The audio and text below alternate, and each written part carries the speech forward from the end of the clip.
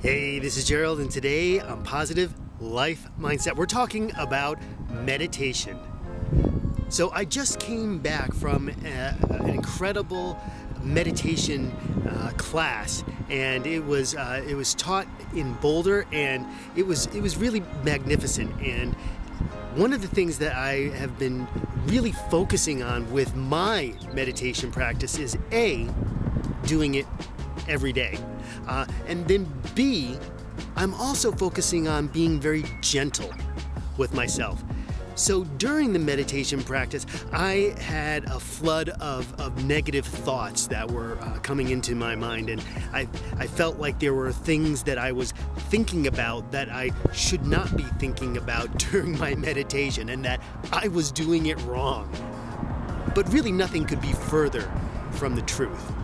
And once I accepted what I was thinking about, how my mind was wandering, I had a much gentler time accepting where I was in that moment. And it was okay to be exactly where I was in that moment.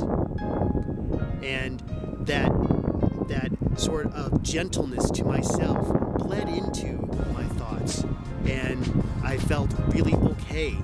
about the thoughts that I was having rather than labeling them as negative or labeling them as good or judging them as right or wrong.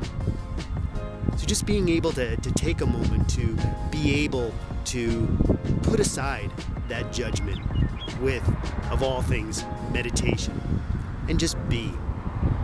I'm about to head into Toastmasters right now, which is another opportunity for me to just be, to just speak, to just be myself.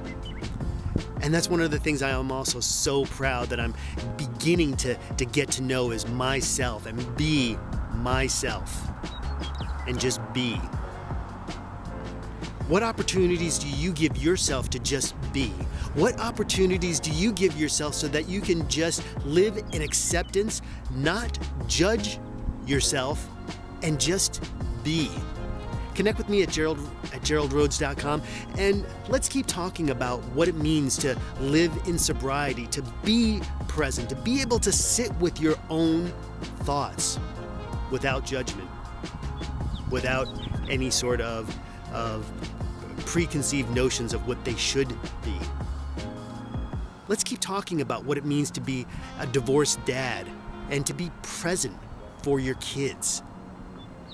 And let's walk along this road. If you like this video and you want to see more like them, hit the subscribe button. Hit the subscribe button. Subscribe to my channel. If you want to see more videos like this one, hit the subscribe button. Subscribe to my channel. Subscribe now.